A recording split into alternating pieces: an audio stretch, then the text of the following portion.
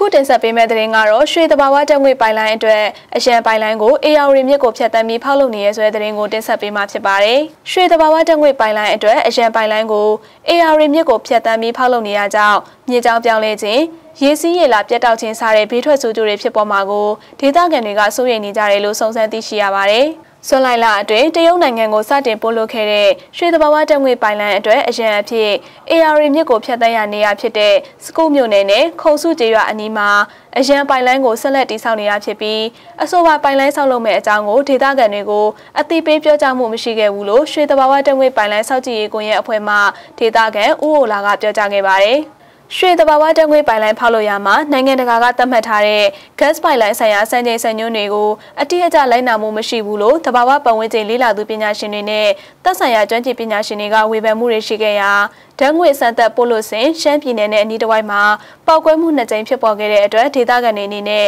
စိုးရိမ်မှုတွေဖြစ်ပေါ်ခဲ့ရတယ်လို့ တအောင်ကျောင်းသားများနဲ့လူငယ်များအဖွဲ့မှကိုမိုင်းမျိုးအောင်ကပြောကြားခဲ့ပါတယ်။လက်ရှိတိစောက်တဲ့အရန်ပိုင်လိုင်းအပါအဝင်မူလပိုင်လိုင်းနေရာအတွက်ရေကာတိုင်များတိစောက်ထားတာကြောင့်သီးနှံဆက်ပြိုးသူတွေအတွက်ရေချောင်းပြောင်းလဲခြင်း မြေချောင်းပြောင်းလဲကတောင်များဖြစ်ထွန်းလာပါက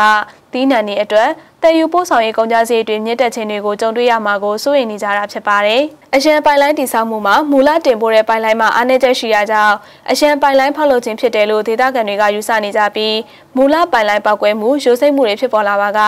တဘာဝပတ်ဝန်းကျင်နဲ့ မြန်မာနိုင်ငံတနိုင်ငံလုံးနဲ့ဆက်နွယ်နေတဲ့ AR မြင့်ရည်ညဉ့်ညမ်းမှုဖြစ်ပွားပါက